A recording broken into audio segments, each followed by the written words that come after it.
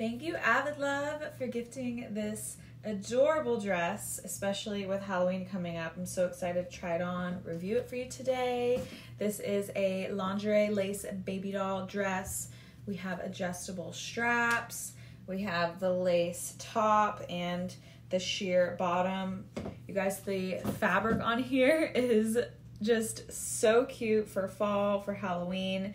It's got pumpkins, little moons and ghosts, little like purple eyeballs, and all the details. We have this nice little bow in the center, the beautiful lace trim. It's made really nice. I feel really feminine and girly in this. I'm wearing a size small. I'm five feet tall, 125 pounds. It fits like a glove. It's not too tight, and I just feel really confident in this one.